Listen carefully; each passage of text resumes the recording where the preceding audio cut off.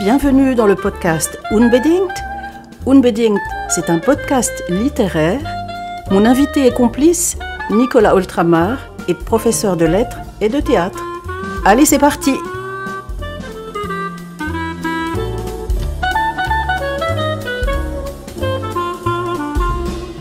Chers auditeurs, chères auditrices, bonjour. Dans ce podcast littéraire, nous allons revenir sur le roman d'Amélie Nothomb, Barbe Bleue, roman publié en 2012. Alors ce roman, moi je dirais qu'il est constitué pour l'essentiel de dialogues.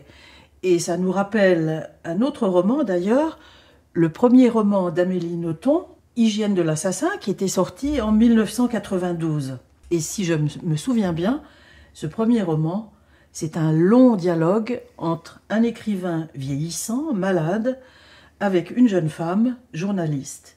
Donc cet homme prétexte à tâche, c'est un être assez, assez odieux, hein. il a un secret, à savoir que dans sa jeunesse, il a assassiné sa cousine.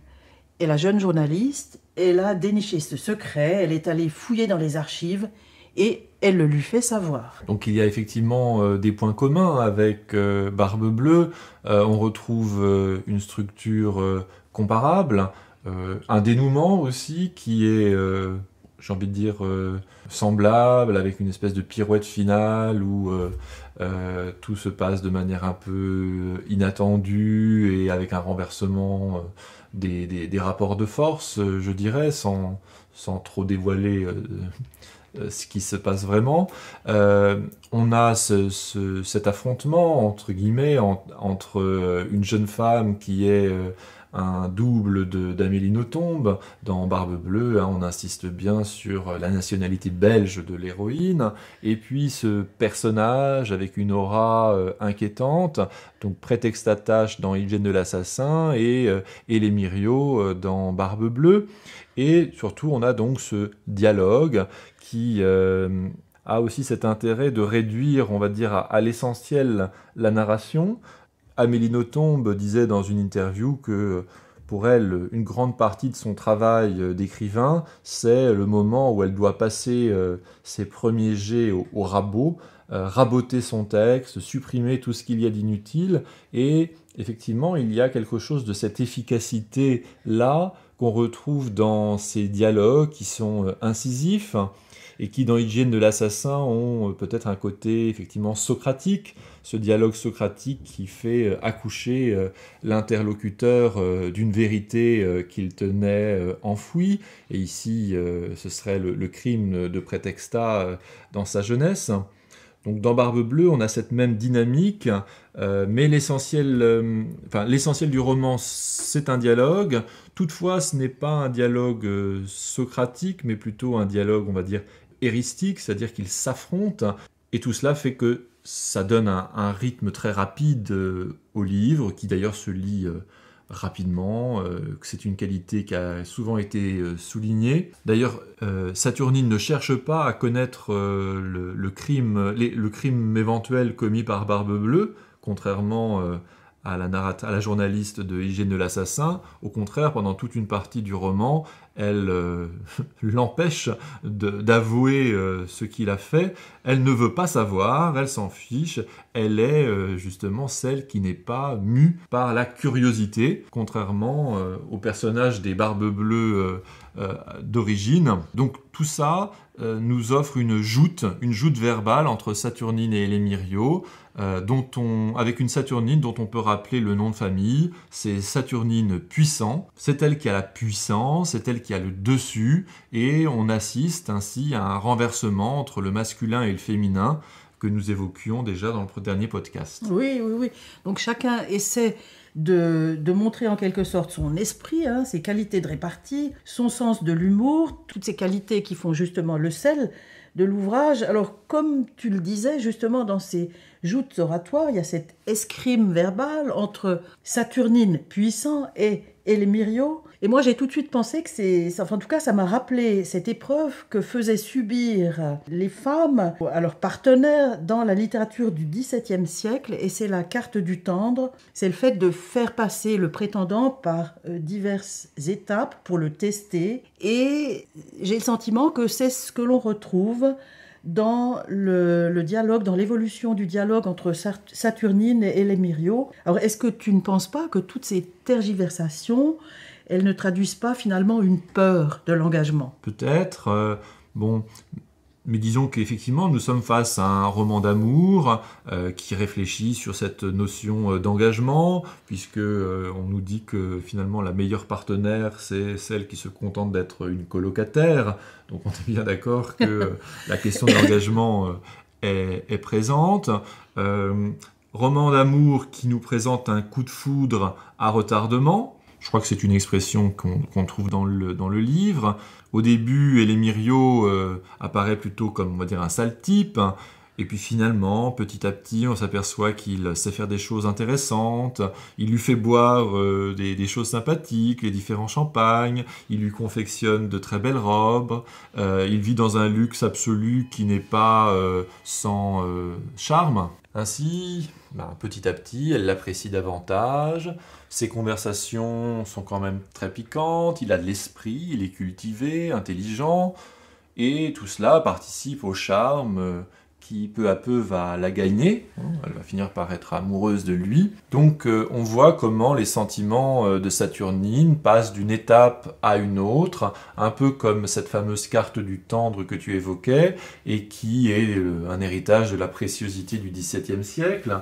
Euh, avec des romans comme euh, La Clélie, euh, et qui justement décrivent les, sentiments amoureux selon certaines orientations. Il y a la nouvelle amitié qui va devenir un, un amour tendre, et puis ensuite cet amour tendre, il peut être fondé sur la reconnaissance ou sur l'estime, euh, il peut être basé sur l'inclination, et tout ça va être catégorisé dans cette fameuse carte du tendre. Il ne faut pas que cet amour aille trop loin, sinon il finit dans la mer dangereuse, euh, il peut passer par la case des petits soins, ce qui serait peut-être le cas de d'Elémirio, qui est aux petits soins pour Saturnine.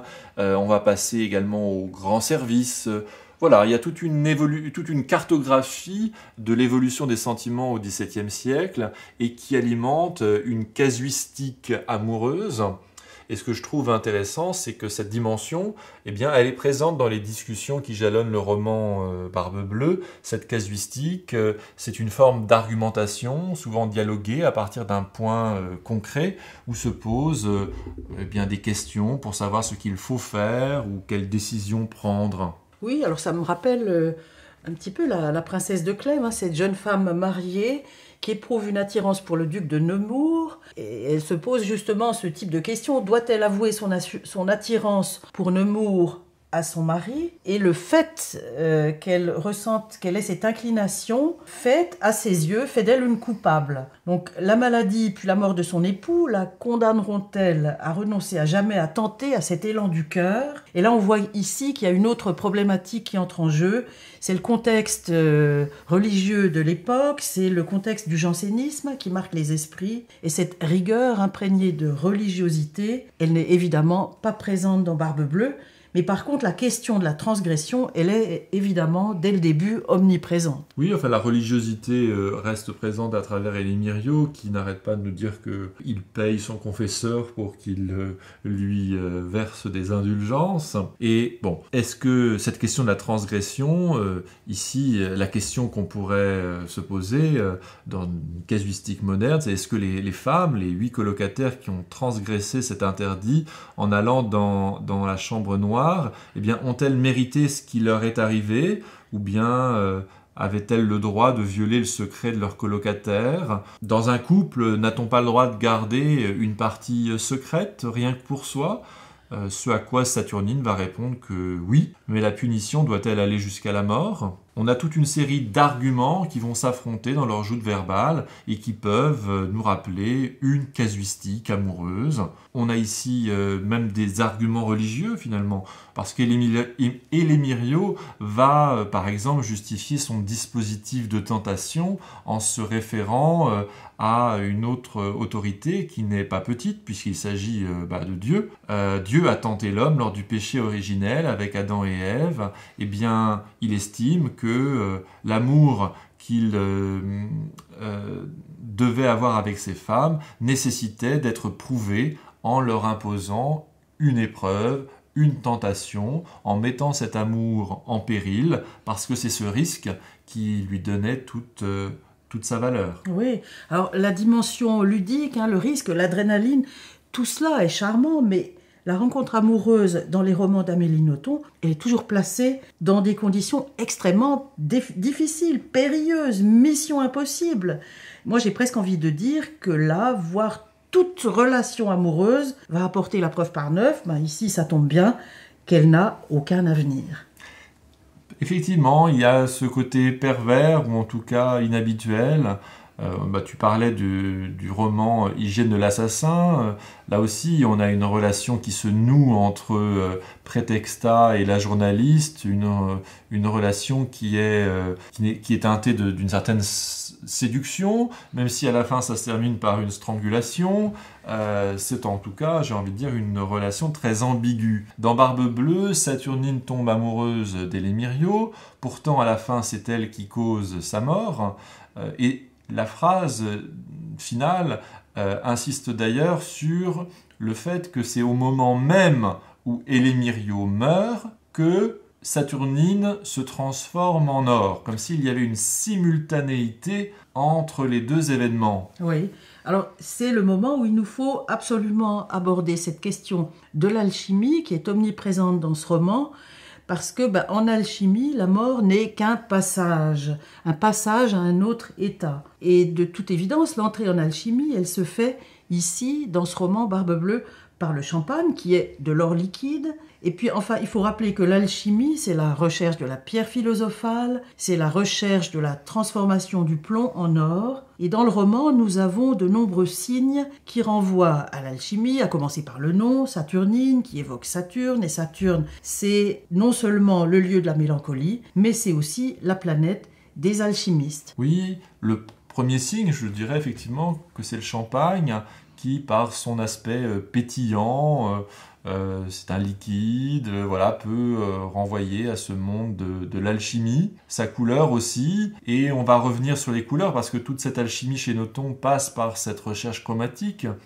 mais finalement, on a aussi l'artisan qui sait fabriquer une robe couleur or avec un velours doré. C'est aussi un processus de transformation il va créer une couleur jaune expressément pour Saturnine, tout comme il a créé des robes ou des vêtements pour les autres femmes qui l'ont précédé. Et à chaque fois, c'est avec une couleur unique qui est en accord avec leur nom. Euh, d'ailleurs, elles ont des noms, je crois, qui euh, euh, renvoie à, cette euh, notion de couleur. Euh, celle qui a la robe blanche, par exemple, s'appelle albumine. Albumine, oui, c'est ça. Et donc il y a un lien, et c'est comme si finalement, avec ces, robes, il cherchait à saisir alchimiquement la quintessence de ces femmes. C'est aussi au niveau de l'alchimie culinaire un, très bon cuisinier qui mijote de bons, de plats euh, à Saturnine. Donc c'est peut-être ici plus humoristique, mais ça nous fait baigner effectivement dans un univers où l'alchimie se retrouve un petit peu euh, dans tous les détails. Alors c'est peut-être le moment de trahir euh, le secret et de dire ce qu'il y a dans la chambre noire. Dans cette chambre noire, il a pris des photos des différentes femmes qui ont précédé Saturnine, il les a prises en photo quand elles étaient mortes. Il ne les a pas tuées volontairement, c'est elles qui ont transgressé son interdit et qui, euh, ce faisant, ont déclenché un, mécanisme dans la chambre noire euh, qui les enferme et euh, qui réduit la température progressivement jusqu'à ce que mort s'en suive. Donc ces femmes sont mortes de froid. Il les a ensuite habillées avec les vêtements euh, qu'il leur avait confectionnés et qui étaient à leur couleur, la couleur de leur être. Il a pris ensuite une photo. Il y a donc dans cette chambre noire huit photos. Il en manque une pour qu'il y en ait neuf. Et neuf, c'est le chiffre qui correspond aux couleurs du spectre chromatique. Donc normalement, Saturnine doit être la dernière, puisqu'il aura ainsi toutes les couleurs, une sorte de condensé, de quintessence, là encore, euh, du, spectre, euh, du spectre chromatique réuni dans sa chambre noire, ce qui serait en quelque sorte la quête ultime d'Elémirio. Oui. Et là, ici, Elémirio, il rentre effectivement dans une démarche alchimique, puisque l'alchimie, ce n'est pas simplement transformer le plomb en or, c'est aussi une sorte de transformation personnelle qui consiste à se détacher du corps, de la dimension matérielle, organique du corps, pour aller vers une âme, autrement dit, vers des essences. Alors, cette alchimie, ça serait, dans le cas de notre autrice, une quête, je dirais, une, une quête de soi, n'est-ce pas? Puisque à la fin, c'est Saturnine qui va rester en vie et qui va se transformer en or. Alors, sans vouloir faire digression, à ce dernier stade, Saturnine, elle va quitter cet homme qui voulait l'épouser, cet homme qui a pris plein de photos d'elle, dévoilant toutes les facettes de son être, et elle va finir la soirée avec Corinne, qui travaille chez Euro Disney. Oui, mais il ne faut pas euh, oublier une chose essentielle. Euh, contrairement aux autres femmes, il a pris des photos de Saturnine, euh, il a pris des photos d'elle vivante.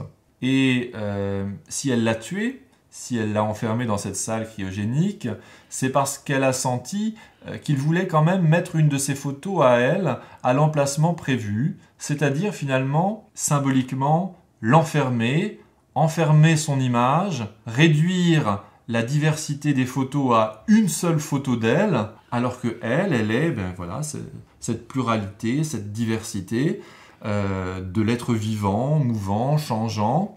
Donc quelque part, ce couple apparaissait à ce moment comme un enfermement. C'est comme ça que je l'interprète. Et ne voulant pas se laisser réduire, enfermer, figer euh, euh, sous la forme d'une image, et en plus une seule image, se laisser euh, cloîtrer dans cette galerie de souvenirs, cette galerie chromatique, elle a enfermé Elimirio et le laisse mourir comme il a tué les autres femmes. D'un côté, elle rachète en quelque sorte euh, les femmes qui ont été ses premières victimes, elle les venge, et puis je pense que c'est dans cette indépendance absolue qu'elle acquiert ainsi par rapport à ses propres désirs, puisqu'elle a, euh, en faisant ça, vaincu son attirance pour lui, ce qui est un petit peu finalement une façon de, se, de, vaincre euh, son corps comme le veut la tradition euh, alchimique, euh, c'est là qu'elle acquiert son indépendance absolue et ce statut d'or. Là encore, on est dans, les couleurs, mais il faut rappeler que dans, le processus alchimique, on, distinguait trois étapes qui correspondaient aussi à des couleurs. Il y avait le nigredo, albedo et rubiendo, qui était donc nigre, euh, nigredo, on a le nigris c'est noir euh, en latin, albedo, album c'est blanc, et rubiendo c'est la racine qui a donné le rouge. Et donc il y a l'œuvre noire, l'œuvre blanche, et puis l'œuvre rouge, euh, qui correspondent à cette transformation de soi pour aller vers justement une élévation, un détachement du corps vers quelque chose de plus spirituel, et puis ensuite une espèce de d'harmonisation entre le corps et l'esprit qui serait en quelque sorte le, niveau ultime, celui où le personnage se transforme en or. Alors on pourrait faire bien sûr quelques rapprochements biographiques, autobiographiques avec la vie d'Amélie Nothomb, ses transformations, ses mues, mais laissons à ce roman son caractère unique et particulier.